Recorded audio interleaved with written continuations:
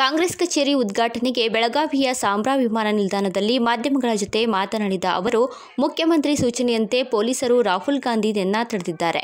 Yogi Adityanath CM ಆಗಿ ಮುಂದುವರಿಯಬಾರದು. ಕೂಡಲೇ ರಾಜೀನಾಮೆ ನೀಡಲಿ, ಯೋಗಿನೋ ಆತ ರೋಗಿನೋ ಗೊತ್ತಿಲ್ಲ ಎಂದು ಸಿದ್ದರಾಮಯ್ಯ ಲೇವಡಿ ಮಾಡಿದರು. ಕರ್ನಾಟಕದಲ್ಲಿ ನೆರೆ ಸಂತ್ರಸ್ತರಿಗೆ ಮನೆ ಕಟ್ಟಿಕೊಟ್ಟಿಲ್ಲ.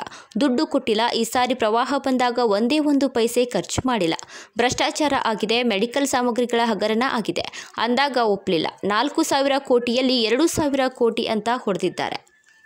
ಅಧಿವೇಶನದಲ್ಲಿ ಸುಧಾಕರ್ ಉತ್ತರ ಕೊಟ್ಟಿದ್ದಾರೆ. ಯಡಿಯೂರಪ್ಪ ಚೆಕ್ ಮೂಲಕ ತೆಗೆದುಕೊಂಡ್ರೆ ಮೊಮ್ಮಗ ಆರ್ಟಿಜಿಎಸ್ ಮೂಲಕ ಪಡೆಯುತ್ತಿದ್ದಾರೆ ಎಂದು ಸಿದ್ದರಾಮಯ್ಯ ಆರೋಪಿಸಿದರು. ಸಿದ್ದರಾಮಯ್ಯ ಬ್ರಿಟಿಷರಿಗಿಂತ ಕೆಟ್ಟದಾಗಿ ಅಧಿಕಾರ ನಡೆಸಿದ್ರು ಎಂದು ಕಟೀಲ್ ಹೇಳಿಕೆ ವಿಚಾರವಾಗಿ ಪ್ರತಿಕ್ರಿಯೆ ನೀಡಿದ ಸಿದ್ದರಾಮಯ್ಯ, ನಳಿನ್ ಕುಮಾರ್ ಕಟೀಲ್ ಏಕಶ್ಚಿತ ರಾಜಕಾರಣಿ. ನನ್ನ ಕಾಲದಲ್ಲಿ ಒಂದೇ ಒಂದು ಚೆಕ್ ಬೌನ್ಸ್ ಆಗಿಲ್ಲ, ಇವರ ಕಾಲದಲ್ಲಿ ಸಂಬಳ ಕೊಡಲು ದುಡ್ಡಿಲ್ಲ ಎಂದು ಆರೋಪಿಸಿದರು.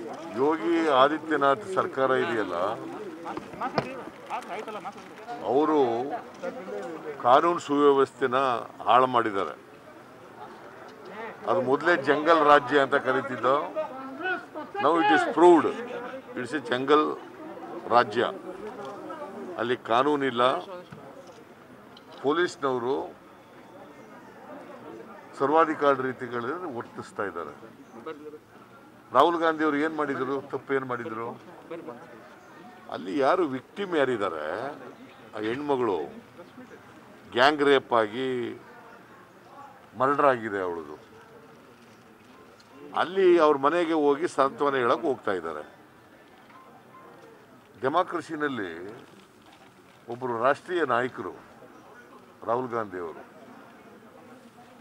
ಕಾಂಗ್ರೆಸ್ಸಿನ ವರಿಷ್ಠ ಅವರು ಹೋಗಕ್ಕೆ ಬಿಡಲಿಲ್ಲ ಅಂತಂದ್ರೆ ಇದನ್ನು ಪ್ರಜಾಪ್ರಭುತ್ವ ಅಂತ ಕರಿಬೇಕಾ?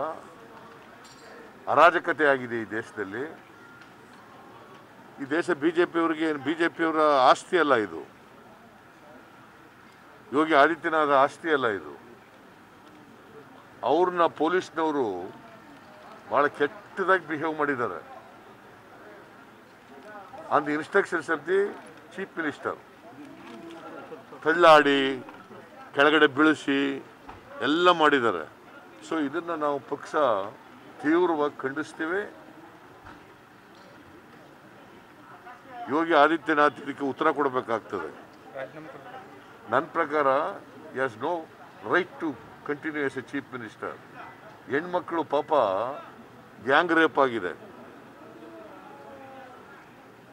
ಇಂಥ ಹೆಣ್ಮಕ್ಳಿಗೆ ರಕ್ಷಣೆ ಇಲ್ಲದೆ ಹೋದರೆ ಇವ್ರು ಮುಖ್ಯಮಂತ್ರಿ ಆಗಿರ್ಬೇಕು, ಯಾಕಿರಬೇಕು? ಈ ಶುಡ್ ರಿಸೈನ್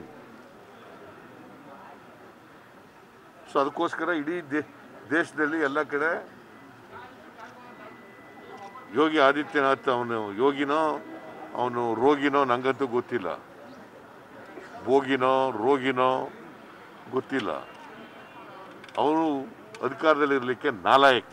ನೋಡಪ್ಪ, ನಾನು ಅಸೆಂಬ್ಲಿನಲ್ಲಿ ಅದನ್ನು ಹೇಳಿದೆ ಕಳೆದ ಸಾರಿ ಎರಡು ಸಾವಿರದ ಹತ್ತೊಂಬತ್ತಿನಲ್ಲಿ ಪ್ರವಾಹ ಬಂದಿತ್ತು. ಈಗಲೂ ಕೂಡ ನನಗೆ ಮೊನ್ನೆ ಪಾಪ ಒಬ್ಬ ಗೋಕಾಕ್ ಹೆಣ್ಮಗಳು ಬಂದಿದ್ಲು. ಇವತ್ತಿನವರಿಗೆ ಮನೆ ಕಟ್ಕೊಡಕ್ಕಾಗಿಲ್ಲ ದುಡ್ಡು ಕೊಟ್ಟಿಲ್ಲ. ಸಂಪೂರ್ಣ ಮನೆ ಬಿದ್ದೋದವ್ರಿಗೆ ಐದು ಲಕ್ಷ ಕೊಡ್ತೀವಿ ಅಂತ ಹೇಳಿದರು.